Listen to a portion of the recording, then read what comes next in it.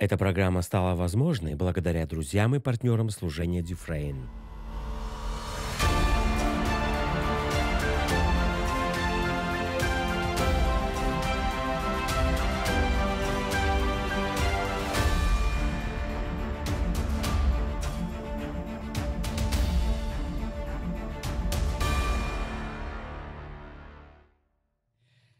Приветствую вас на программе «Иисус Целитель». Откройте со мной, пожалуйста, Марка 10 главу.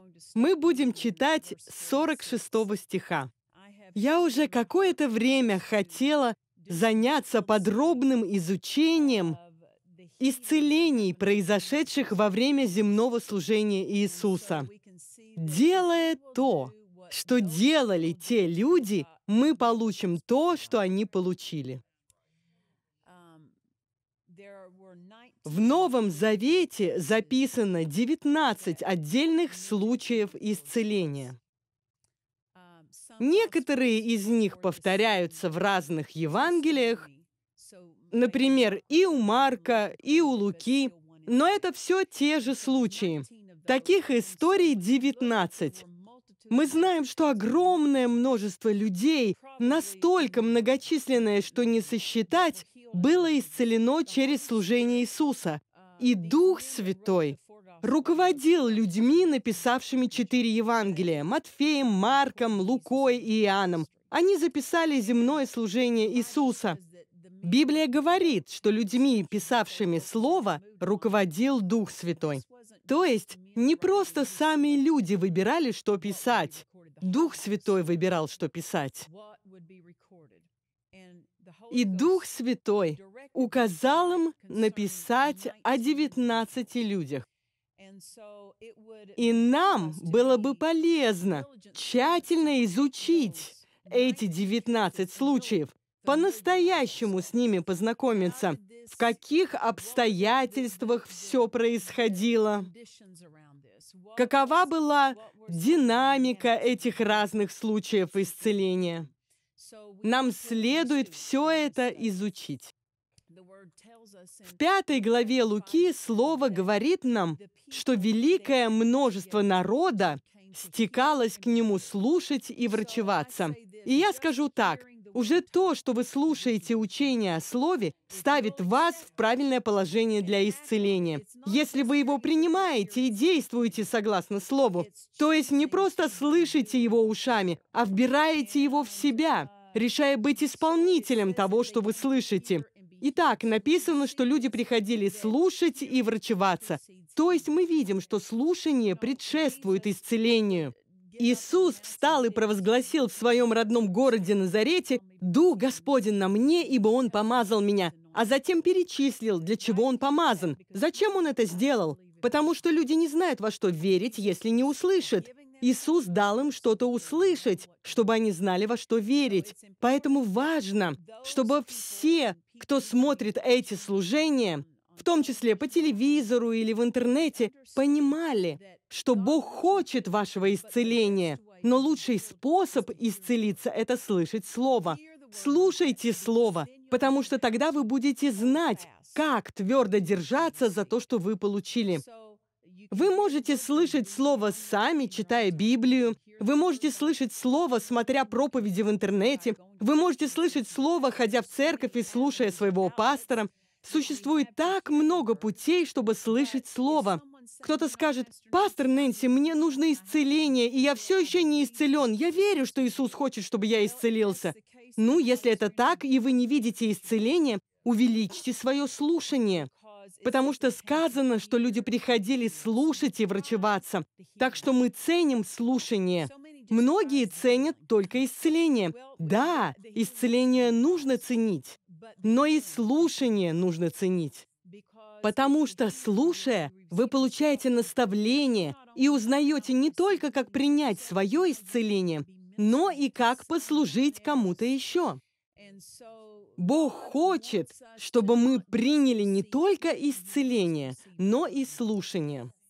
Он хочет, чтобы у нас были слышащие уши, и мы слушали учение Слова. Иисус ходил повсюду, уча, проповедуя и исцеляя. И я бы сказала, что учение важнее, чем исцеление. Почему? Потому что, будучи научены, вы сможете принять свое исцеление.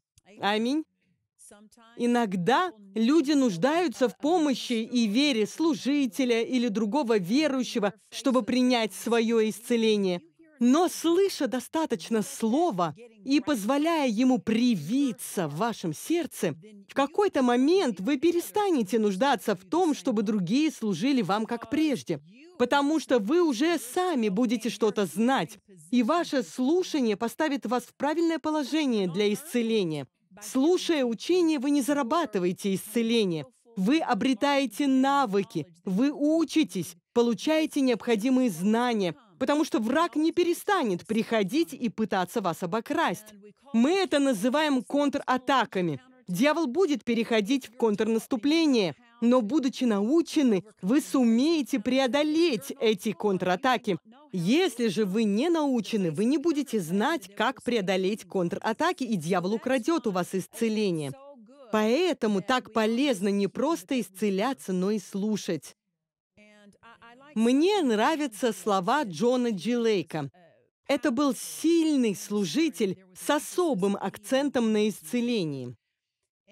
И он сказал, «Я думаю, что иногда мгновенные исцеления вредны людям, что им лучше было бы стоять день за днем и постепенно видеть улучшения, используя свою веру каждый день. Потому что, получив что-то своей верой, они будут знать, как получить это в следующий раз, и знать, как помочь другим получить исцеление. Иногда люди просто выходят вперед на молитву за исцеление, или кто-то молится за них, и мгновенно приходит исцеление. Слава Богу за это. Но просто подумайте, чему можно научиться в процессе, когда приходится твердо стоять на своем. Итак, мы посвятим время тому, чтобы рассмотреть описанные в Евангелиях случаи исцелений. И я хотела бы начать с 10 главы Марка. Мы рассмотрим историю слепого Вартимея. Мне так нравится этот человек. Я дорожу им и тем свидетельством, которое он нам оставил. Не прекрасно ли это? Люди все еще исцеляются благодаря свидетельству этого человека. Он ушел с земли около двух тысяч лет назад, но его свидетельство все еще приводит других к свету и к исцелению. Когда Бог делает что-то для вас, рассказывайте об этом, свидетельствуйте, потому что это сможет помочь кому-то. Итак, Марка 10, 46 по 52 стих. Приходят в Иерихон, и когда выходил Иисус из Иерихона с учениками своими и множеством народа, Вартимей, сын Тимеев, слепой, сидел у дороги, прося милостыни. Услышав, что это Иисус Назарей, он начал кричать и говорить, «Иисус, сын Давидов, помилуй меня!» Многие заставляли его молчать, но он еще более стал кричать, «Сын Давидов, помилуй меня!» Иисус остановился и велел его позвать. Зовут слепого и говорят ему, «Не бойся, вставай, зовет тебя». Он сбросил с себя верхнюю одежду, встал и пришел к Иисусу. Отвечая ему, Иисус спросил, «Чего ты хочешь от меня?» Слепой сказал ему, «Учитель, чтобы мне прозреть». Иисус сказал ему, «Иди, вера твоя спасла тебя». И он тотчас прозрел и пошел за Иисусом по дороге. А теперь давайте внимательнее рассмотрим каждый стих. Давайте проанализируем эти стихи и рассмотрим детали, потому что можно, прочитав все это быстро и невнимательно, упустить свет, который содержится в этих стихах. Итак, 46 стих. «Вартимей, сын Тимеев, слепой, сидел у дороги, прося милостыни».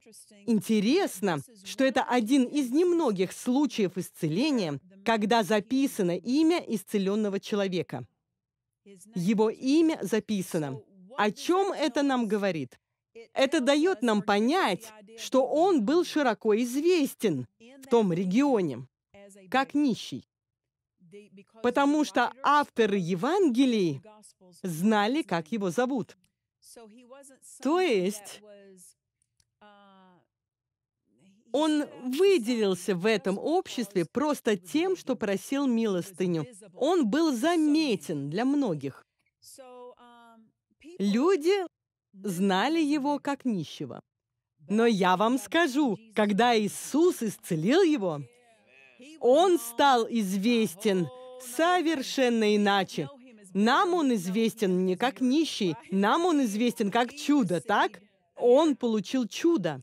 Я скажу так, возможно, люди в прошлом знали вас с определенной стороны. Но позвольте Богу переписать какие-то вещи в вашей жизни, и вы станете кем-то, кем не были никогда прежде. Слепой Вартимей больше не был слепым Вартимеем, он был зрячим Вартимеем. Он стал кем-то, кем не был никогда прежде. Здесь написано, что он сидел у дороги. Что это значит? Он сидел там, где было людно, где много людей проходило мимо. То есть это было заметное, неопровержимое чудо, потому что очень многие люди знали Вартимея. Он был широко известен в обществе. 47 стих. Услышав, что это Иисус Назарей, он начал кричать и говорить, «Иисус, сын Давидов, помилуй меня». Обратите внимание, он наверняка уже что-то слышал о том, что Иисус – целитель, и о том, что исцеление – это милость. Потому что он кричал, «Сын Давидов, помилуй меня». Никогда не слышав, что кто-то был исцелен Иисусом, с чего бы он стал кричать об этом? Значит, он что-то слышал. То, что вы слышите, определяет, что вы будете просить. То, что вы слышите, определяет, во что вы будете верить. То, что вы слышите, определяет, чего вы будете ожидать. Важно, что вы слышите. Потому что вы будете верить на основании того, что вы слышите. Если вы слышите что-то неправильное, что Бог делает людей больными, чтобы научить их чему-то, что они пожинают болезни за все свои проступки, так что неудивительно, что они больны. Если вы такое слышите, вы в это поверите. А то, во что вы верите, дьявол исполнит. Если вы верите во что-то, что противоречит Слову, Бог не может это исполнить. Но есть враг, который это исполнит. А все, что соответствует Слову, Бог исполняет. Слушая Слово, вы знаете, что дьявол крадет, убивает и губит. А Иисус пришел для того, чтобы имели жизнь и имели с избытком. То есть все, что крадет, убивает и губит, все, что обворовывает вашу жизнь, все, что ее ухудшает – не имеет ничего общего с Богом. И многим нужно избавиться от мышления, что Бог использует какой-то вред, какую-то скорбь, какое-то горе или страдание, чтобы чему-то научить. Бог учит через свое слово, Он не учит страданиями. Очевидно, слепой Вартимей услышал что-то, и, к счастью, он услышал что-то правильное. Но просто услышать недостаточно, он в это поверил. Он в это поверил и потому закричал. Что если бы, услышав свидетельство, «Я был рядом с человеком по имени Иисус и видел, как люди исцелялись», слепой Вартимей ответил бы, «Не верю ни единому слову. Я в это не верю. Я не верю, что кто-то исцелился». Тогда он не стал бы кричать, услышав, что Иисус идет, так? То есть мы знаем, что он что-то услышал. Итак, сказано, услышав, что это Иисус, он начал кричать. И тут нам опять-таки нужно понять, это не крик мольбы, это не крик отчаяния, это не панический крик, не крик «это выше моих сил», не крик тревоги. Это крик веры. Хотя у Вартимея не было зрения, у него был голос. Он не видел, где был Иисус. Он не мог знать, насколько близко от него Иисус находился. Он не мог этого знать. Все, что он знал, это что рядом дорога. То есть вокруг много людей, много движения, многие проходят мимо. Вы слышали, что у слепых людей обостряются другие чувства? Почему? Просто потому, что приходится больше полагаться на них, и они более натренированы. И если бы Иисус шел по дороге один, Вартимей, возможно, мог бы определить, насколько он близко. Но поскольку это была большая дорога, и там повсюду были люди, толпа окружала Иисуса, вокруг Вартимея была толпа. Он был не способен разобраться, насколько далеко от него Иисус. И он кричал, и я вам гарантирую, он кричал громко. Он кричал громко.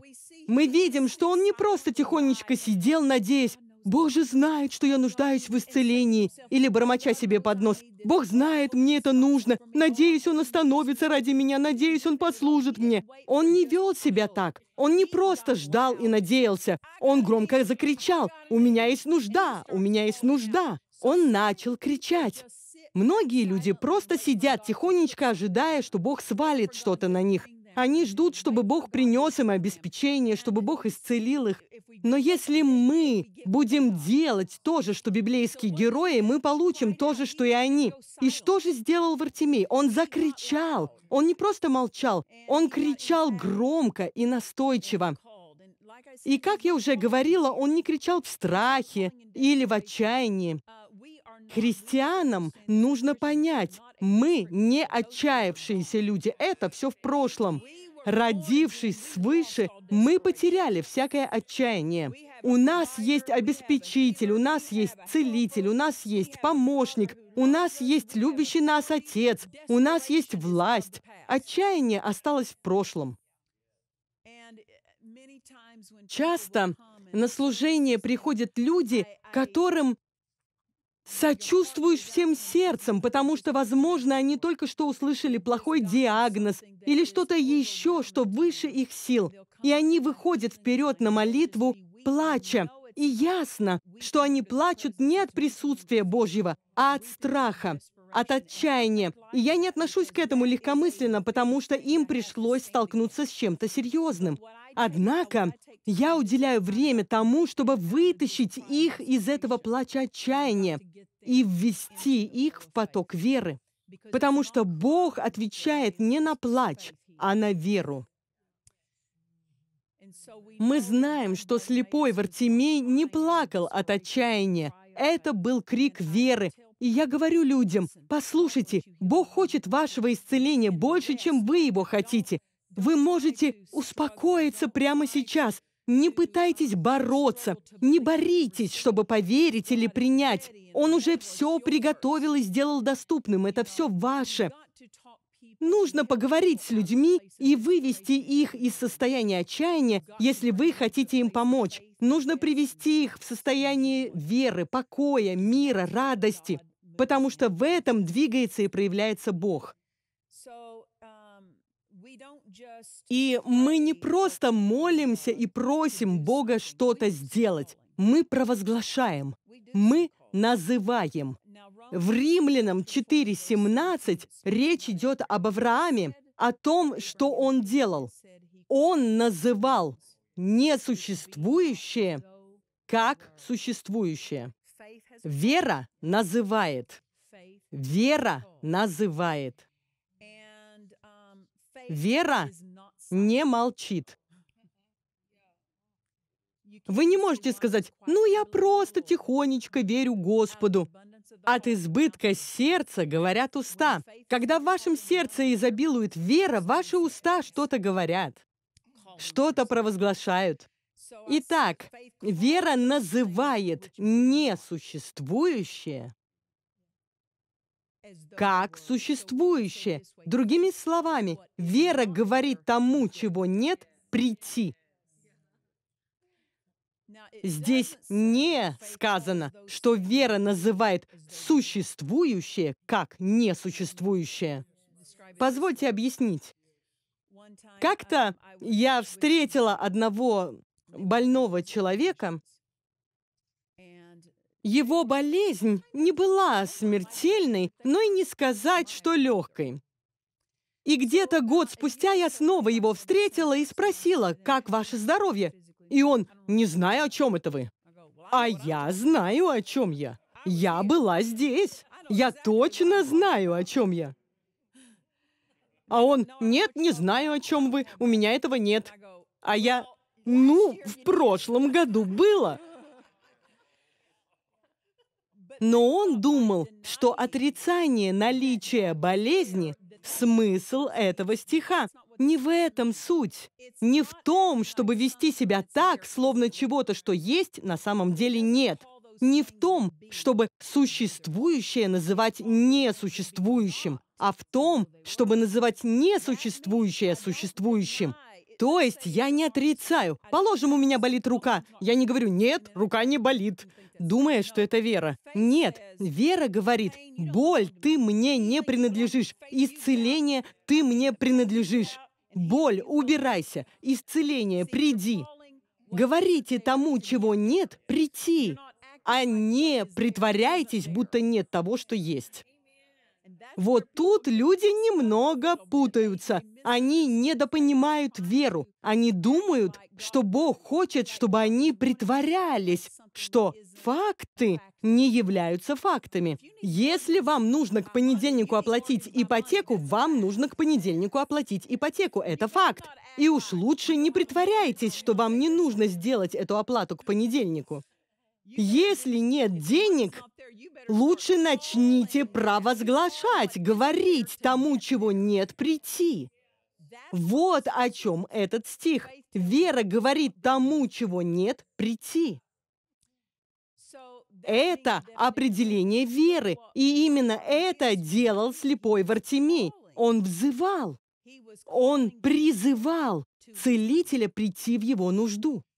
Так?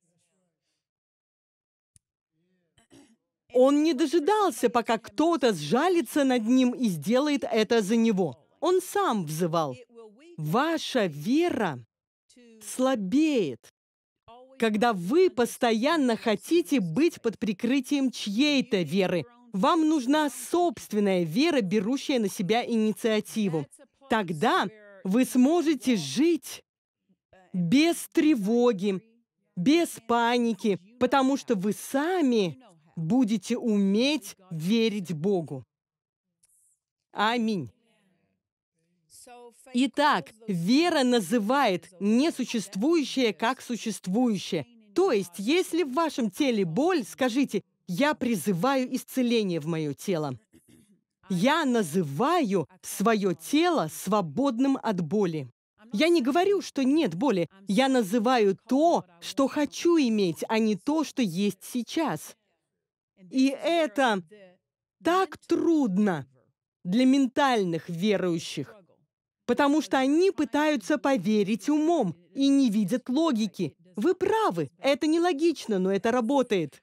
Я не знаю, как мои слова «я принимаю Иисуса как своего Спасителя» перевели меня из одного царства в другое. Я не понимаю этого, но поскольку я назвала себя спасенной, Он совершил мое спасение и я сменила царство. Я не знаю, как мои слова «я принимаю Иисуса» забирают грехи, прошлое, делают меня новым творением, делают меня гражданкой небес. И уйдя с этой земли, я буду жить на небе. Я не знаю, как все это происходит посредством слов, но это происходит. Невозможно в этом разобраться умом, потому что ум не способен просчитать то, во что способно поверить сердце. Сердце способно поверить в то, в чем ум не способен разобраться. Вера Божья в сердце, а не в уме. Она в вашем сердце. Поэтому не ограничивайте своим умом то, во что вы верите. У вас ум за разум зайдет, он не сможет в этом правильно разобраться. Просто утихомирьте свой ум и скажите, я верю, мне не нужно в этом разбираться. Я просто верю. Я называю свое тело исцеленным пред лицом боли. Я знаю, что боль есть, но я называю исцеление своим. Я называю тело, свободное от боли, своим. Я называю обеспечение своим. Я призываю необходимый доход. Он приходит. Вы скажете, я этого не понимаю. Ну, вспомните, что сказано в Ветхом Завете. Слабый пусть говорит, «Я силен». Пусть нищий скажет «Я богат». Там не сказано «слабый пусть говорит «я слаб». И нищему не нужно говорить «я нищий». Говорите то, что вы хотите, а не то, что вы видите. Это закон веры. Он действует, когда вы называете. Давайте вот что сделаем. Поскольку определение веры называть несуществующее как существующее, Римлянам 4.17, давайте возьмем это определение и вставим его туда, где используется слово «вера». Праведный верою жив будет. Праведный будет жить, называя несуществующее как существующее. Без веры угодить Богу невозможно. Не называя несуществующее как существующее, угодить Богу невозможно. Сия есть победа, победившая мир, вера наша. Сия есть победа, победившая мир, когда мы называем несуществующее как существующее. Это закон веры. Он никак не связан с вашим образованием, никак не связан с тем, в какой части мира вы живете, в какой семье вы воспитывались, какой у вас доход. Он связан только с тем, во что вы выбираете верить и с тем, что вы выбираете говорить. Аминь. Вот что делал слепой Вартимей. Он кричал, потому что верил, что его ожидает что-то лучшее, чем слепота. Ею он уже был сыт по горло. Можете представить всю жизнь быть слепым? В 106-м псалме, втором стихе написано «Так да скажут избавленные Господом, которых избавил Он от руки врага». Мой муж говорил, ваше избавление не будет работать, пока вы так не скажете. Вот что такое называть. Это говорить так. Я говорю, что я исцелена. Ну, пастор Нэнси, я стараюсь верить Богу об исцелении. Можно вам сказать, начните называть себя исцеленными. Называйте, говорите, я называю себя исцеленным. Да, я знаю, что у меня болит нога, но пред лицом этой боли я говорю, видите ли, вы не отрицаете, что боль есть, вы отрицаете, что это ваше будущее. При всей боли в ноге вы говорите, я называю себя исцеленным, я называю свою ногу свободной от боли. Поступая так, вы угождаете Богу, и ответы приходят. Вы спросите, как это работает? Не знаю. Это просто слово. Это слово. Бог исполняет то, что слышит из ваших уст. Слыша, как вы говорите слово, Он исполняет свое слово, звучащее из ваших уст. Аллилуйя! Аллилуйя! Аллилуйя! Мы надеемся, вам понравилась наша программа.